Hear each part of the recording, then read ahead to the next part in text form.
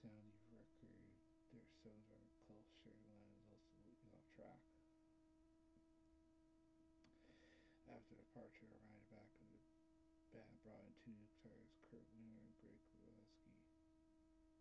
Elvis Seriously Dixon was a new type of vinyl that is extremely plausible. The record could be pulled and have it bring back the original compilations as well as the album. She's used a two-channel stereo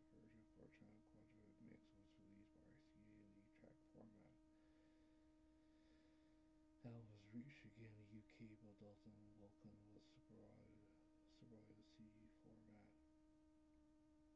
Al, Al's music broke this uh, rock and blues and hard rock songs in the Al Hold Me Down for Bus Ride, Shared On, You Miss Me Darling, and the version of Hang On To Your Life, which was also released on Cinema Grace's compilation Best of the Guess Who.